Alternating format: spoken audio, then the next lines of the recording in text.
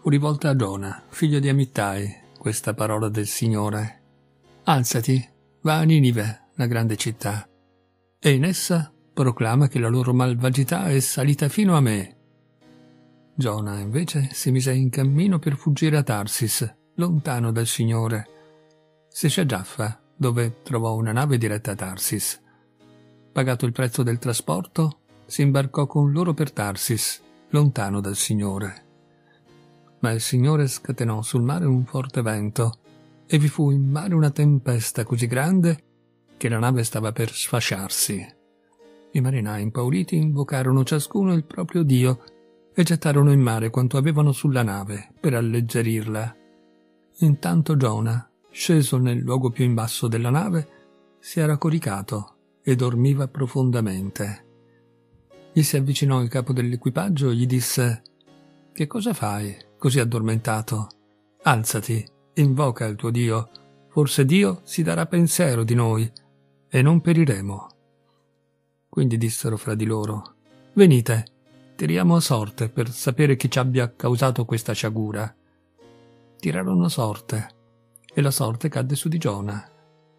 Gli domandarono, Spiegaci dunque, chi sia la causa di questa sciagura? Qual è il tuo mestiere? Da dove vieni? Qual è il tuo paese? A quale popolo appartieni? Egli rispose, Sono ebreo e venero il Signore, Dio del cielo, che ha fatto il mare e la terra. Quegli uomini furono presi da un grande timore e gli domandarono Che cosa hai fatto? Infatti erano venuti a sapere che egli fuggiva lontano dal Signore, perché lo aveva loro raccontato. Essi gli dissero Che cosa dobbiamo fare di te perché si calmi il mare che è contro di noi? Infatti il mare infuriava sempre più egli disse loro, Prendetemi e gettatemi in mare, e si calmerà il mare che ora è contro di voi, perché io so che questa grande tempesta vi ha colto per causa mia. Quegli uomini cercarono a forza di remi di raggiungere la spiaggia, ma non ci riuscivano, perché il mare andava sempre più infuriandosi contro di loro. Allora implorarono il Signore e dissero, Signore, fa che noi non periamo a causa della vita di quest'uomo e non imputarci sangue innocente, poiché tu, Signore, agisci secondo il tuo volere. Presero Giona e lo gettarono in mare, e il mare placò la sua furia. Quegli uomini ebbero un grande timore del Signore, offrirono sacrifici al Signore e gli fecero promesse. Ma il Signore dispose che un grosso pesce inghiottisse Giona Giona restò nel ventre del pesce tre giorni e tre notti. Dal ventre del pesce Giona pregò il Signore, suo Dio, e disse, Nella mia angoscia ho invocato il Signore, ed egli mi ha risposto. Dal profondo degli inferi ho gridato, e tu hai ascoltato la mia voce. Mi hai gettato nell'abisso, nel cuore del mare, e le correnti mi hanno circondato. Tutti i tuoi flutti e le tue onde sopra di me sono passati. Io dicevo, sono scacciato lontano dai tuoi occhi, eppure tornerò a guardare il tuo santo tempio. Le acque mi hanno sommerso fino alla gola, l'abisso mi ha avvolto, l'alga si è avvinta al mio capo. Sono sceso alle radici dei monti, la terra ha chiuso le sue spranghe dietro a me per sempre. Ma tu hai fatto risalire dalla fossa la mia vita, Signore, mio Dio. Quando in me sentivo venir meno la vita, ho ricordato il Signore. La mia preghiera è giunta fino a te, fino al tuo santo tempio. Quelli che servono idoli falsi abbandonano il loro amore, ma io con voce di lode offrirò a te un sacrificio e adempirò il voto che ho fatto. La salvezza viene dal Signore. E il Signore parlò al pesce, ed esso rigettò Giona sulla spiaggia. Fu rivolta a Giona una seconda volta questa parola del Signore. Alzati, va a Ninive, la grande città, e annuncia loro quanto ti dico. Giona si alzò e andò a Ninive, secondo la parola del Signore. Ninive era una città molto grande, larga tre giornate di cammino. Giona cominciò a percorrere la città per un giorno di cammino e predicava ancora quaranta giorni e Ninive sarà distrutta.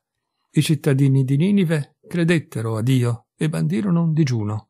Vestirono il sacco, grandi e piccoli. Giunta la notizia fino al re di Ninive, egli si alzò dal trono, si tolse il manto, si coprì di sacco e si mise a sedere sulla cenere. Per ordine del re e dei suoi grandi, fu poi proclamato a Ninive questo decreto. Uomini e animali, armenti e grezzi, non gustino nulla, non pascolino, non bevano acqua. Uomini e animali si coprano di sacco, e Dio sia invocato con tutte le forze. Ognuno si converta dalla sua condotta malvagia e dalla violenza che è nelle sue mani. Chissà che Dio non cambi, si ravveda, deponga il suo ardente sdegno e noi non abbiamo a perire. Dio vide le loro opere, che cioè si erano convertiti dalla loro condotta malvagia, e Dio si ravvide riguardo al male che aveva minacciato di fare loro, e non lo fece. Ma Giona ne provò grande dispiacere e ne fu sdegnato. Pregò il Signore. Signore, non era forse questo che dicevo quando ero nel mio paese? Per questo motivo mi affrettai a fuggire a Tarsis, perché so che tu sei un Dio misericordioso e pietoso, lento all'ira, di grande amore, e che ti ravvedi riguardo al male minacciato. Oh dunque, Signore, toglimi la vita, perché meglio è per me morire che vivere. Ma il Signore gli rispose, Ti sembra giusto essere sdegnato così? Giona allora uscì dalla città e sostò ad oriente di essa. Si fece lì una capanna e vi si sedette dentro, all'ombra, in attesa di vedere ciò che sarebbe avvenuto nella città. Allora il Signore Dio fece crescere una pianta di ricino al di sopra di Giona, per fare ombra alla sua testa e liberarlo dal suo male. Giona provò una grande gioia per quel ricino, ma il giorno dopo, allo spuntare dell'alba, Dio mandò un verme a rodere la pianta e questa si seccò. Quando il sole si fu alzato, Dio fece soffiare un vento d'oriente, afoso, il cielo colpì la testa di Giona e si sentì venire meno e chiese di morire dicendo Meglio per me morire che vivere. Dio disse a Giona Ti sembra giusto essere così sdegnato per questa pianta di ricino? Egli rispose Sì, è giusto. Ne sono sdegnato da morire. Ma il Signore gli rispose Tu hai pietà per quella pianta di ricino per cui tu non hai fatto nessuna fatica e che tu non hai fatto spuntare, e che in una notte è cresciuta e in una notte è perita. E io non dovrei avere pietà di Ninive, quella grande città nella quale vi sono più di centoventimila persone, che non sanno distinguere la mano destra e la sinistra, e una grande quantità di animali,